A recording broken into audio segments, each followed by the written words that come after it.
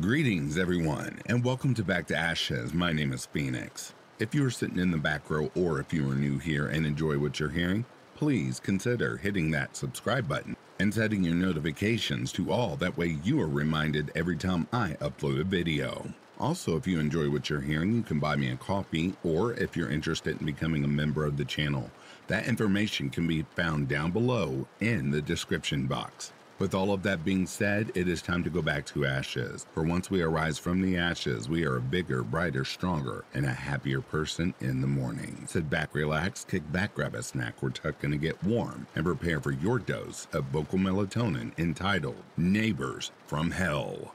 Right after this intro and ad will play, I'll read the first story an ad will play, and after that, there will be no more ads within this video. Disclaimer this video is for educational and entertainment purposes.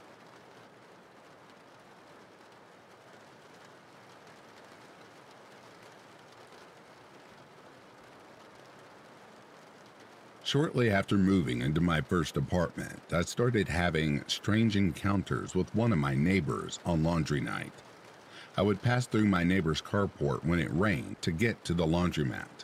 He stood in the shadows a bit and startled me several times, possibly avoiding the rain. I tried to be friendly, but he would just stare at me smoking his cigarettes and not say a word. Soon it became a regular routine for him and then the apartment across the way opened up, and he moved to that one.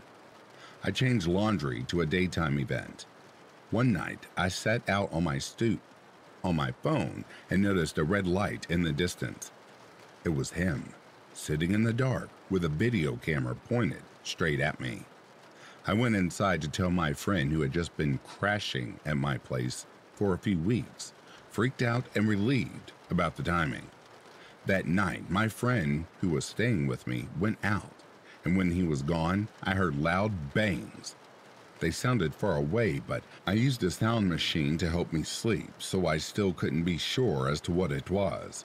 The next day leaving, we noticed the door wood around the deadbolt was all mashed up. I asked if he noticed it when he came back, but it was late and he was a little drunk, so we weren't sure. The maintenance people were very concerned because it looked like someone tried to break in while I was home alone. Shortly after that, I left and got a new apartment. Luckily, my new roommate had an amazing big dog, and when she was out of town one night, I woke up at 3 a.m. to him growling at her window. I went over and ensured it was locked. The next day, my neighbors asked me if I locked myself out, and I asked, no, why? Sure enough, the screen on the outside was all twisted as if somebody tried to break in, but got interrupted by the very big dog. The worst part was, I had out of state plates, and all of my friends kept telling me to get my plate switched because I was sticking out to the police. I often thought that he tracked me down by plates and tried again, or maybe I was just being paranoid, and these were a series of break ins looking for money, jewelry, etc.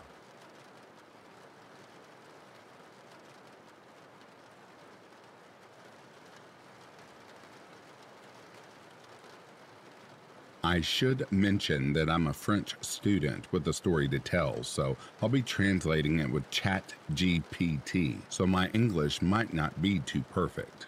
The story takes place during my first year of studies when I moved to a big city, experiencing living on my own for the very first time. Naturally, there were certain reflexes or cautions that I know I didn't have, as I was quite naive back then. Upon moving in, my mother and I carried all of my belongings from the car to my apartment. Through numerous trips, we inevitably met a neighbor. I lived at the end of the hall, and he too welcomed me. I'll describe him physically, and you'll understand later in my story why it was important. He was quite slim with a very square jaw, his face marked by alcohol and perhaps drugs in general. I'm not making assumptions, I just recognize faces that are marked by alcohol since my father has them too. For about six months, everything went well. He was one of the few neighbors I encountered. and we used to talk when we crossed paths. He was quite pleasant, so I never paid much attention to his appearance, which might have scared some people. It often happened that I'd ask him if he could lend me an egg or some milk, and vice versa. At one point, the building management decided to change the entry badges, meaning we had to pick them up from the front management office to access the building. On that day, before entering the building leading to the apartment, I ran into my neighbor. He told me about the changed badges, and I remember feeling upset because I didn't have time to go to the management office to get them, and it was going to be complicated. He offered to lend me his badge since he had picked them up, and we obviously had two in case one got lost. I thanked him immensely. Several days after retrieving the badges, I returned the one he had lent to me, and life went on. A few weeks later, I can't exactly recall, he comes knocking on my door. He tells me he lost one of his badges, stumbles into his words, doesn't seem really sure, and I don't know why, but I still lent him mine. A few days pass and I start to worry because he still hasn't returned it. I ring his doorbell, no response. I feel uneasy the next day. Anyway, a week goes by and still I have yet to hear from him. Haven't even seen him. I was very worried as if he left my badge, it means I have to buy a new one. Did I trust a stranger? I don't know. Anyway, the holidays come, and I go back home to see my parents. After a week there, I return home and I realize I left my keys at my parents' place, which is over 600 kilometers away. Luckily, I had given a spare key to my sister, but the issue is that I was missing one. The badge that was with my keychain at my parents', and the other one my dad had. So even if my sister brings me the keys, I'll have to wait outside the building for someone to enter it so I can get in. My sister says she'll arrive in about an hour and 30 minutes so I know I'll have to wait a long time. Someone from the building enters. I go in with him, even though I know I still can't enter my apartment. I remember I'll wait outside. I go up to the Montpellier and wait outside my place with my suitcase, watching YouTube videos sitting on the ground. My sister says she won't be long and will be there soon. While waiting for my sister on the landing, I encounter someone coming out of the neighbor's apartment, but it wasn't the same person. I found out so strangely that I can't remember exactly what I asked, but I said, Do you live here? And he responds, Yes, I do. Tell me, are you the neighbor from across from me? In any case, he tells me he went on a five month trip to see family I can't recall which country, maybe Turkey, and he just returned home to find his apartment squatted. I am extremely shocked because the person I see squatting his apartment is someone I had absolute trust in, or at least I believed to be a true neighbor. He explains that his lock was forced, his apartment was soiled, and he had over 1,000 euros worth of repairs to do because everything needed redoing, and, of course, nothing was cleaned. In short, it's a mess. I confess that at that time, I was completely shocked. I didn't expect it at all, and I was very angry because this fake neighbor had left with my badge, which is already extremely dangerous as he can enter at any time. The worst part is because I'll have to pay for it, and as a student, Yes, 40 euros hurt. If the story could end there, it would suit me well. But the problem is that it continues, and I still don't have the full story. For a little side note, his fake neighbor had already asked me for a small spoon at 3 in the morning, supposedly to make coffee. At that time, I was staying with a friend, We were drunk, didn't ask any questions. Now I realized I probably for drug use. I don't pass judgment on people who use drugs since I also consume from time to time. It just amuses me to realize this now. After talking several times with this new neighbor, let's call him Jack to make it easier to follow, I understood that the housing is a subsidized accommodation to people in need of help. He tells me he pays 200 euros, which is 400 euros less than my apartment, even though we have the same setup. That is where it gets complicated because indeed, Jack's speech is always a bit incoherent. I never really understood what he was telling me. There are missing elements in his story, but at that time, I didn't find it suspicious. Another crucial thing to know is that the city where I live has a high number of homeless people, many of whom use drugs even though I defend them because I think when you live on the street, sometimes it's the only thing that can make you happy. I'm not here to judge homeless people or people who use drugs. However, it's essential to be cautious because you can encounter some very strange, even violent or malicious individuals. So, even though it's a pleasant city, you still have to be careful. This new neighbor, Jack, is becoming increasingly strange, even though he tries to appear very friendly. I feel he exudes exactly the same energy, the same vibe as my old neighbor, who, as it turns out, was not the real neighbor. I haven't told you, but a few months before, I had bed bugs at home. Not enough to be very worried, just a few. But my mom and I decided immediately to treat it or not let it linger any longer. This was during the time when the fake neighbor was still around. In the meantime, there were holidays, and I went to see my parents, which I didn't itch anymore. However, when I came back, it started itching again. I think for people who have had bed bugs, you know how paranoid you can become. So I didn't waste a second before calling the person who had treated my apartment. For those wondering, they were indeed bedbugs.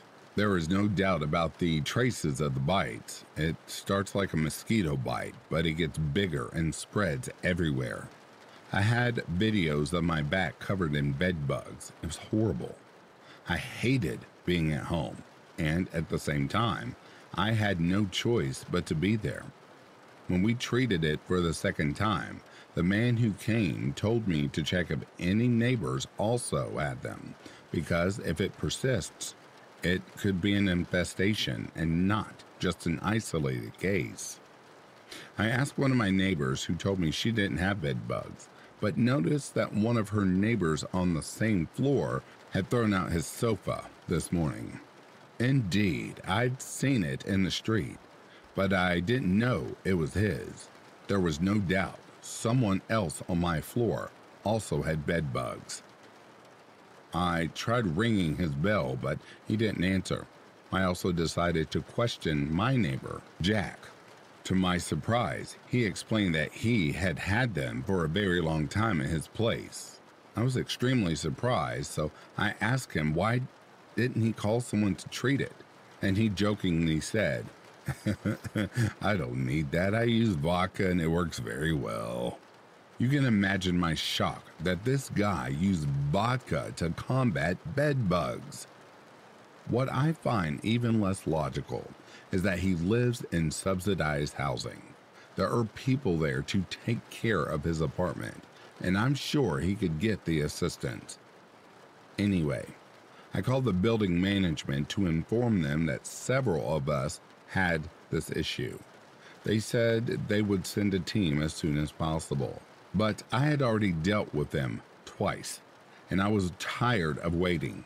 So my mom contacted the person who had treated my apartment the last two weeks to treat it immediately before I swear it's unbearable. The problem was that it wasn't treated in the other neighbors' apartments. I was sure I would get them back, so I just waited for the management to take care of the apartments across from me. but I knew it would take time. What was strange is that when the man came back to treat my place, he told me there were no signs of bed bugs. Meanwhile, I started itching again. I went to see a dermatologist who told me I had a kind of allergic anxious reaction. There weren't any words to describe what she was saying, but she explained that my body, exposed to bed bugs, kept fighting even when there was nothing left. This meant that even psychologically, I managed to have physical bumps on my body that itched everywhere. I took a treatment, and just knowing that, it immediately eased, and I had no more bumps a week later. Meanwhile, I haven't seen my neighbor. He had completely disappeared. This wasn't really a problem for me, except that the building management said that as long as he wasn't there, they couldn't proceed with the cleaning of his apartment to get rid of the bed bugs. This worried me a lot and once again delayed the disinfection on my floor. However, a month and a half later, they finally came to treat the apartment across from mine. Jack's and the other neighbors affected. Unfortunately, I couldn't meet the man who took care of it, as I would have liked to ask him what happened in Jack's apartment. At this point, I decided to call the building management to try to find out what happened. I explained absolutely everything I told you. The fake neighbor. The real neighbor who arrived but whom I haven't seen for several weeks. Of course, they didn't believe me. I remember they thought I was crazy on the phone, and I never decided to talk about the story again. The problem is that it spans about two years, and since I never talked about it earlier because I didn't want to worry about this story, I wanted everything to go well, of course. Telling a story that has been going on for two years is a bit complicated to articulate and appear authentic without sounding crazy. What I forgot to mention is that a few weeks before he disappeared, the police came to my door asking if I knew what time my neighbor came home. I told them I didn't know anything, that I was just a student, and with my classes, my schedule changed all the time, so I never really was there at the same time, so I didn't notice his schedule. They told me they would come back not even a day later. In the morning, I heard the police ringing loudly and speaking loudly. At first, I think they're coming to talk to me since I can hear everything from my door. When I look through the peephole, I see several plainclothes officers in front of this apartment, waiting for him to come out. They ask him to come out immediately, to go to the police station to answer some questions, and if he doesn't come willingly, they will arrest him to bring him my neighbor Jack decides to follow them, and since then, nothing. Since then, I have never seen my neighbor again. I've seen letters addressed to him just in front of the mailbox downstairs. I know it's illegal, but out of morbid curiosity, I decided to randomly take one of these letters to see if I could get answers to my questions. When I open the letter, it's a summons to court for theft. I don't remember the exact wording, but it was a theft on someone's property. I understand that he had broken in. It seemed quite serious, given the number of letters he had in front of him, all addressed by the same person for the court. I still don't know news of what happened, and today, Saturday, December 2nd, I noticed a new person who entered the apartment. I'll keep you informed if I come across any more stories about this apartment and its very strange neighbors.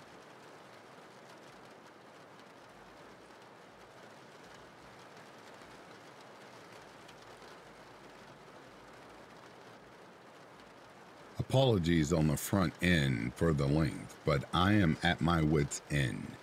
We bought our home about three years ago. When we moved in, it was clear that the house directly beside us was in rough shape, just hadn't been taken care of. Peeling, paint, siding, general dilapidated. But nothing sketchy looked like it was taking place here. In the three years that we lived here, things next door have gone from bad to worse. Drugs are clearly being dealt out of the home, and at any given time, it is occupied by five to ten people that rotate out constantly. These people are clearly strung out. Scabs, skin, and bones can barely walk many days because they are that high. Cars are in and out at all hours of the day and night. People walk down our street on foot 24 7 that enter and exit the home. It is impossible to tell who is actually living there because there are so many random people daily that hang there. Here are some events that have happened in the past three years. A 17 year old child was shot and killed in their driveway shortly after we moved in. The police are there constantly. I'm not talking two cop cars, I'm talking on a monthly basis 10 plus cars. Vans blocking our road off to the address, something that was going on inside their home. They stole the battery out of our riding lawnmower. They siphoned the gas out of our mower. They cut our chain link fence, snipped it from the bottom to top. We have had people enter our property and open the gate to our backyard in the middle of the night, just wandering around. A man in their yard threw knives into our yard. Just for fun? I don't know. Never really got an explanation on that one. They have 10 dogs. Again, hard to tell with many people that are in and out constantly. And are breeding pit bulls. The dogs have jumped over our fence and run at us several times. We have this on camera. They have stolen packages off our front porch. We find this on camera and filed a police report. They returned our things. They parked a stolen car in the woods behind my other neighbor's house. Police were called. Car was towed. The neighbor is trying to sell his home, so it is empty, and they are on his property at all hours of the night. He regularly finds needles in his lawn. If not weekly, then at least bi weekly, we are awoken by a screaming domestic violence disturbance. They frequently do not have power. For an entire summer, people lived in tents in their backyard. Currently, they are using a generator to power the home. Our utilities are all through one company, so if they don't have power, they don't have water either. This list genuinely goes on and on. A few months ago, I hit my limit. We were woken up at midnight by a woman screaming. It sounded like she was being assaulted. We called 911 and went downstairs to see that a woman and two men were in our front yard with a dog tied to a tree. There was another dog there that the dog tied up was biting. They were beating the hell out of those dogs, breaking things over their backs, choking them, etc., to get them separated. It was horrifying. At one point, the woman brought out a knife and was screaming that she was going to stab the dog. Thankfully, they ended up getting them separated before that happened. They took one of the dogs into their home and left the other one out tied up to a tree in our yard. Cops eventually came and I basically did everything, which is what almost always happens. The woman denied that the dog was theirs. Of course it was. And the two men who were hiding in the back of the home, and the cops could not offer without consent. Animal Control took the dogs that were tied up to our tree and they left. I'm constantly told that there is not much they can do. We're calling the police more times than I can count for theft, trespassing, child endangerment, animal cruelty, you name it. They came out, maybe arrest one person, and then another person spawns in their place it's never ending. I am genuinely worried for my family's safety because the situation has been escalating for years. My neighbors are all equally concerned, but understandably less invested since we are the only ones that share their property line. The city also came out and investigated their home multiple times. As you can imagine, trash is everywhere. Windows, doors are missing and busted out. There's spray paint on the walls and doors, etc. According to the property records, the home is owned by an 85 year old man. According to the city inspector, they cannot figure out if he's alive or dead and have no way of verifying that the people that live there now are lawfully there. The city and the cops who had explained that they are likely squatters. Everyone I talk to says their hands are tied and no one can do anything about it without finding the owner of the home.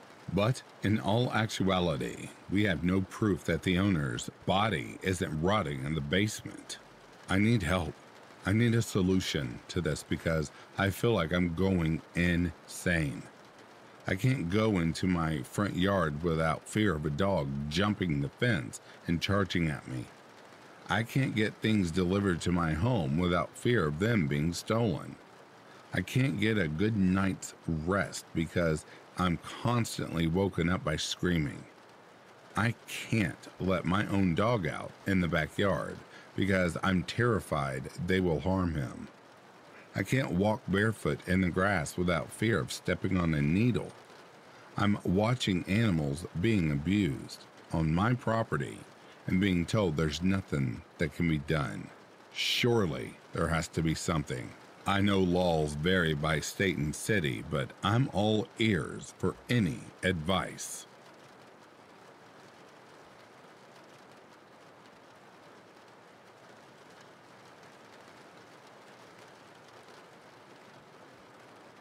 I consider myself in 1996 to be a rebuilding year in my life. I was 25 years old, fresh out of a relationship that crashed and burned right before the wedding. So deep was the crater and widespread fallout that I had to move to a different state to avoid my to be father in law's friends in the law enforcement, who were making sure I spent time roadside with them, at least four times in the first two months after it all ended. I started over in a new place with a lack of resources and connections that were going to make it hard to get back into shape before I turned 30.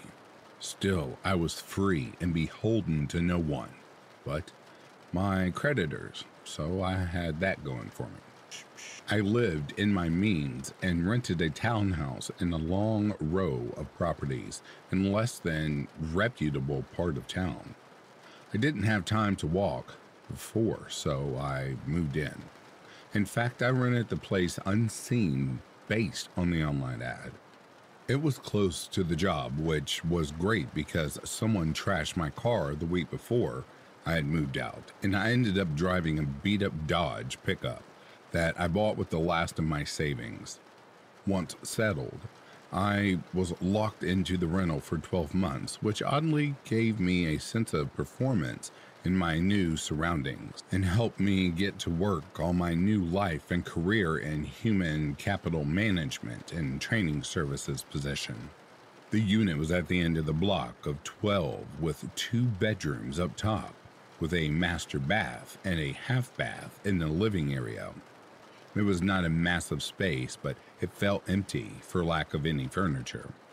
I slept on an inflatable mattress my first three months and used folding chairs and a card table to eat and watch television. The block was a place where people were either on their way back up or back down. Young kids in their first home, recently divorced with kids, the downturn from society in one way or another. There were fights, domestic and otherwise, throughout the night. Drunken parties and birthday galas took over the block on weekends, but nobody ever interacted with other families for some reason. No one knew anyone else's name or business. At least that's what the cops told me the first time they stopped by to ask me if I had heard or witnessed something going on in the block. My immediate neighbors were just weird, like a space monkey on your lawn. Inviting you to an anal probe. Kind of weird. It was a circus of three. The short, wild haired woman looked like a off brand Troll with big pink hair that defied logic and a malfunctioning soundboard that only shrieked when provoked. The tall, thin man looked like an average bald human might appear in an elongating funhouse mirror. I don't know how old they were, but they resembled old, worn out furniture, like the contents of an elderly couple's storage locker, old and ready to be discarded. Troll Lady and Funhouse Man were not fond of taking to neighbors or anyone. They were troubled people. Their fights would bleed through the shared walls and get louder when talking outside. They knocked on my only hanging art from the wall when one threw something against the other side. The cops knew them by their real names. There had been a child living there, but he or she had to be removed from the home. A frequent guest in their little David Lynch sitcom world was a guy named Chuck, so named because Troll Doll Lady would yell his name every 10 fucking minutes anytime he was in the house. Chuck was a long haul truck driver who parked his sleeper bag across the street every couple of weeks. For some reason, he didn't shower inside. So, Saturday mornings, he would often run the garden hose over the fenced in area in the back to take a cold shower, which was a lovely first sight to see. I didn't know him or what was going on. He sometimes walked out back to take a long beer piss in the runoff drain. His aversion to indoor plumbing was never explained to me, but I am forever grateful I never walked out back to catch him popping a squat in the tree line, if you know what I mean. For about six months, I tolerated the noise, let the neighbors be the bad guys, and call the police when the fight went too loud or too long, or when they all got drunk and played their 80s punk records through the night and engaged in the song of their people howling at the moon. I got to a place where I was making enough money to buy real furniture or rent a better place. I still had a lease to honor, so I bought a sofa, a real bed, and a desk set up for an office. It was still minimalistic affair, but comfortable. The townhouse felt like my home for once, and suddenly the intrusions of the neighbors were twice as annoying. One night, Troll Lady got into a fight with a pizza delivery driver who knocked on her door by mistake but wouldn't give her the pizza. I only know this because the pizza and its box hit my front window at different spots. This shrieking pink haired witch assaulted the driver, which led to a light show by the police that rivaled a Mannheim steamroller Christmas show. I was left to clean the pizza off the window and call the office to replace said window. They refused until the neighbors agreed to pay so I enjoyed a cracked window for a month before the court accepted her guilty plea over the property damage. Her arrest was around the same time residents on our block and the next one over began reporting burglaries, and I was asked by police if I had any information or experienced anything odd. Other than the three geeks circus next door, I told him. I did not have anything for him. Fortunately, my work and social life were on the rebound. I met a girl and we headed off, though he stayed far from my house during the early part of the relationship. So I began spending more time away from home, though I would often come back late to the neighbors in a loud state of either bliss or rage. During the day, maintenance worked to replace the insulation and update the HVAC system along with the attic spaces along the entire block. I don't think much about it because the work was done while I was gone in the daytime, and I assumed the property managers would be coming into my apartment at some point to access my attic. Probably the last one as they started on the far end for mine. Quickly, I lost track of the project. One night, I came home and something felt a little off. The front door was locked, the windows intact, and the back door secured. However, it felt and even smelled a little off. Sometimes I could smell the tobacco and weed upstairs when it filtered up and over into the attic space, but I was sure someone had been there. I cleared the house in a short, quiet march, as my dad, a Marine, taught me to do, but found no one and nothing missing. My computer, two TVs, uh, everything else was intact, except I went to grab a beer from the fridge to calm my nerves and found the six pack missing. I was sure I had two scratch batch stout packs for my last visit to Stewie's microbrew. The loaf of bread seemed to be a little shorter than the morning before, by several slices.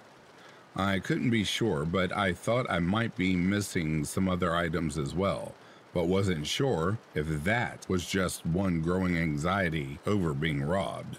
I wondered if maintenance had been to my place to inspect the window or work in the attic and help themselves to a snack and drinks. It would explain the musty smell in my apartment, and given the people I knew who owned and managed the property, it would not surprise me if a couple of their day laborers took a load off for a bit. The smell was most present upstairs, but in my office, which was opposite of the neighbor's walls, so it wasn't lingering dank. It was clearly gym funk. I immediately assumed laborer because it had the most common sense to it, so I didn't report it to the police that night. The next morning, however, I discovered my medications missing from my cabinet all of them. My Lexapro, my emergency anxiety medications, and my other bottles were gone. I checked the windows and doors again, now in a near panic. I called off work for the first time using a burglary as my excuse. I was the seventh house in two townhome blocks to be hit in the past two weeks. The fifth in my block, and one of the five without signs of forced entry. The police wouldn't tell me much about the other incidents and didn't seem to believe that I locked my doors until I reminded them who had lived next door to me. By that time, I really didn't want to live in that place anymore. It no longer felt like home. I was sharing it with something I felt lingering in the air around me. There was a feeling of dread, a sense of violation, knowing there was someone out there who was inside your life without permission. Once removed, it feels like living in a house without walls. And there was a serial burglar in a neighborhood where the cops traditionally left to work out its own problems and carry away the remains. A week after the break in, a few things happened to fuck up my world even further. First, Troll Doll Lady returned home because she was on house arrest. A welcome party brought out all the freaks Friday night. Second, because I was a dumbass. I had to come home and pick up a few things I needed to spend the weekend with my new girlfriend. As she was already in the truck and we were to be on our highway out of town, there was no other choice but to bring her home with me. The lot, including my spaces, were filled with what looked like gridlocked in a demolition derby, so I had to park a good distance away. Third, she insisted on seeing the inside of my townhouse and take a pee before hitting the road. So I had to introduce her to the freak show next door before even setting foot inside. Fourth, on the way up the walk to the front door, we encountered Funhouse Man in the open doorway, gatekeeper to the drunk dumbassery inside. He was wearing his morning apparel briefs and a long shirt, except with a can of Red Dog instead of coffee in his hand. Fifth, Funhouse Man looked at us coming up the walk and spoke to me for the first time in seven months. You, you tapping that? I think he said, his wet mouth spitting the words and dead eyes scoping my girl. I shifted to put myself between them on the sidewalk as we closed in on the door, and fished my keys out of my pants. Funhouse Man panicked, letting out a squeal before diving inside and slamming the door. The party went silent instantly.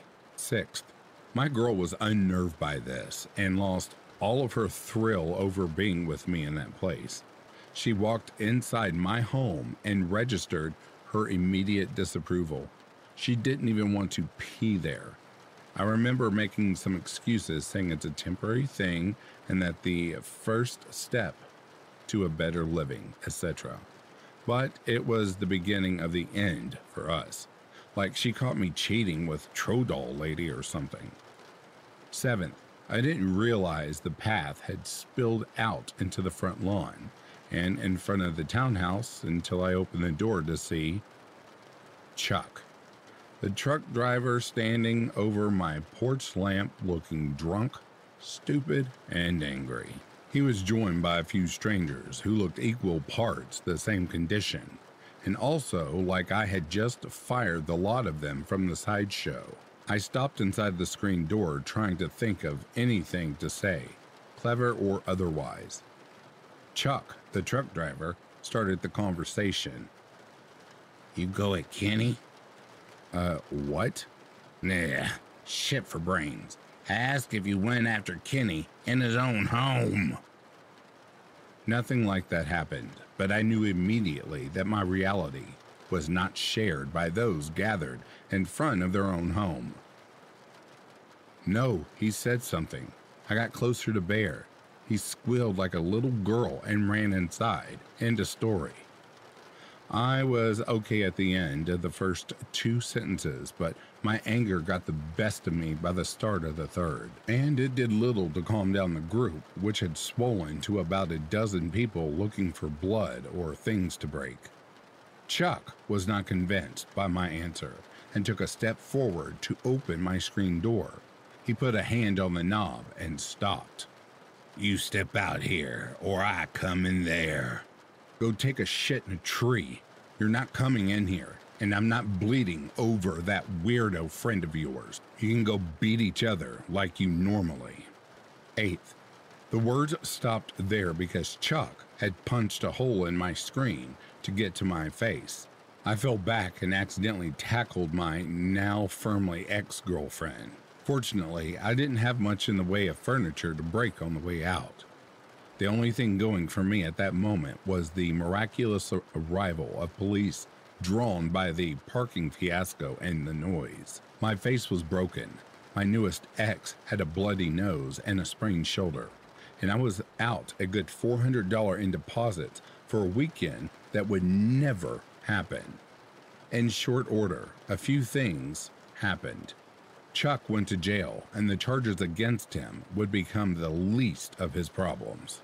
The party turned into story time, where partygoers spun their best yarn about how I insulted, assaulted, beat, or ass raped Kenny, the funhouse man.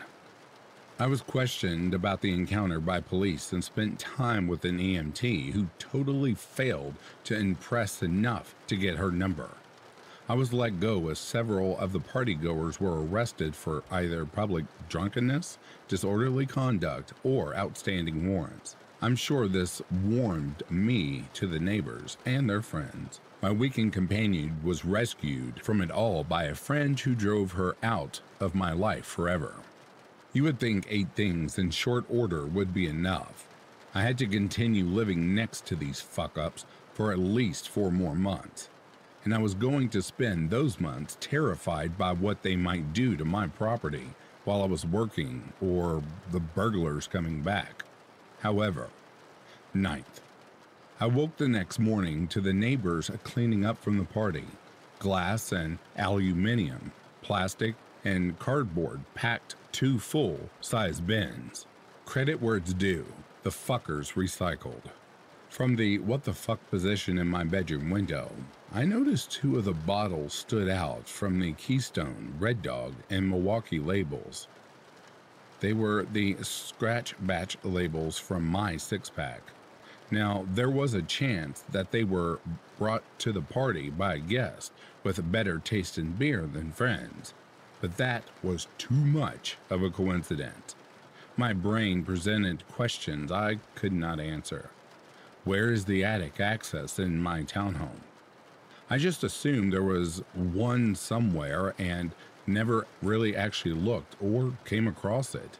So, how did maintenance get all the way into it? While totally unrelated to the beer bottle on a conscious level, my paranoia and cynical nature collaborated on a series of connections as I looked around the house for a drop that I had missed for months.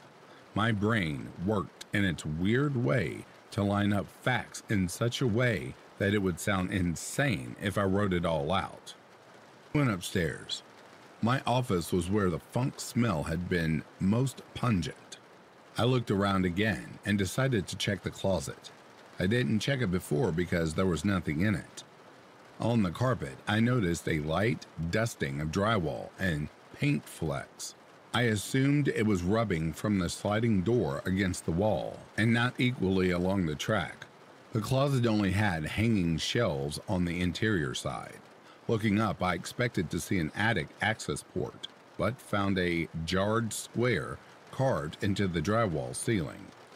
Management was not exactly flip this shack quality, but I didn't think that they would use a box cutter to carve a hole in my ceiling and none of them were skinny enough to even fit through that.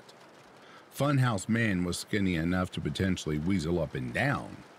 The scuff mark on the inside wall of the closet was pretty telling. It took a while for the police to make their way over in response to my non emergency call, but it quickly gathered their interest when the first responding officer reported what everyone missed the first time they did a half assed search of my home. Three unmarked cars arrived after the initial squad car. My neighbors were uncharacteristically quiet once the first cruiser rolled up at around noon. I offered a folding ladder, and the police looked up into the blistering hot attic. A hole had been cut for the insulation and a spot in the corner wide enough for a small or slender person to fit through. I was questioned again downstairs for about an hour before I heard more noises upstairs than I remember going up there. Before I could ask, a familiar face appeared at my door. My landlord, Ahmed. He looked concerned and astonished, which was a new expression, and the third after this. Can I take your money? And his general resting fuck off face. What has happened? He asked. What is going on? Are you all right? He walked into my home without invitation and up to me on my sofa. I asked him if he was there to fix my cracked window. Everything else happened without my direct involvement. I remained a guest in my own home for most of the day as police took photos and marched up and down my stairs. I learned that my assumption about the attic work was wrong. That workers had to access specific units to get around the firewalls between them. In fact, there were holes in the firewall that allowed workers to enter the roof in one unit and run the entire length of the building. It was a measure that saved time and footsteps, but was a violation of several law and codes, meaning that Ahmed's life was about to become much more complicated and expensive. These gaps in the firewalls also allowed someone to drill a hole in their own ceiling and run the length of 11 other homes, walking on the same boards laid by the property owners that muffled their presence. Every single unit in that block had a hole similar to the one in my ceiling. Further, at one time, the building had been wired for cable through the roof and holes that had been cut to finish cable into the upstairs bedrooms had been plugged up for years earlier during an upgrade.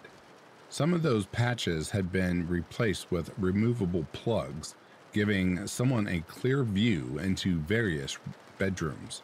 In the attic, police found a step stool with a rope tied to the top step. It was stashed away in the corner of the roof over my next door neighbor's unit. But that's not the weirdest thing. Though all evidence pointed to the main access point being the smaller bedroom in the neighbor's unit, police did not arrest Funhouse Man or Troll Doll Lady for the crime. Around 3 in the afternoon, police had recovered some stolen items from other units along with various controlled substances. Troll Doll Lady was arrested for violating the terms of her bond. Funhouse Man taken in for the drugs. I was shocked to see a third person, not Chuck, walk out from the townhouse in cuffs. I'd never met him before. He was rail thin, thinner than Funhouse Man was by half. An old man's face in a young man's body, with scars and bruises all over his skin that I've never ever seen, even on corpses, white and wax. He was naked except for soiled basketball shorts. He literally recoiled as if allergic to outside air and sun and had to be dragged shoeless to the cruiser. I don't know who that kid is, but I got the feeling he never left the townhouse ever. Maybe not even the attic. The thought that this skeletal creep was looking in on me and had access to my life makes me overly cautious these days. I have two eyes everywhere in my home, and I take plans to inspect the smallest spaces in and around my property. I often wake in the middle of the night seeing that face peering at me through a window or from a dark room. It's been a long time ago, and everyone I mentioned in this story by name is dead. I don't know about the kid though. I never got a name and was unable to find him in any police record. Maybe he doesn't really exist. Maybe he didn't show up on any records and is languishing in prison as John Doe. Or maybe he's out there lurking in some upper level of an apartment building or hiding inside the basement or walls. I've never, ever left truly home since then.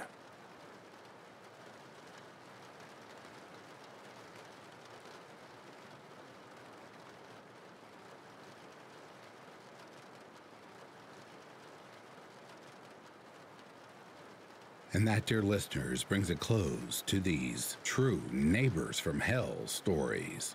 I would like to take a brief moment and acknowledge the elite members of Back to Ashes Chrissy Elias, Sugared Spite, Tina Mead, Cindy, Amy Klimko, Anita V, Dova Khaleesi, Edith Smith, Colt Stonewolf, Luz Crispin, Samantha Place, Patty's niece, Denise S., Coleman Carter, Stephanie McLaren, Corpse Lover, and Cindy Cleveland. Thank you all so much for continuing to support Back to Ashes, for without you, there wouldn't be a me or the channel. If you are sleeping, I hope Summerland is treating you comfortably. If you're awake, I hope you've enjoyed this collection. Until next time, please take care of yourselves and stay safe out there. I'll be reading to you soon. Have yourself a good morning, a good afternoon, or a good night. Peace, love, and light to you all.